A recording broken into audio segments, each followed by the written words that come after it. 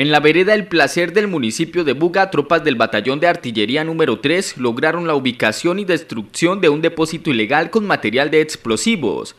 En el lugar se encontró tres artefactos explosivos improvisados, seis detonadores eléctricos artesanales y 20 metros de cordón detonante.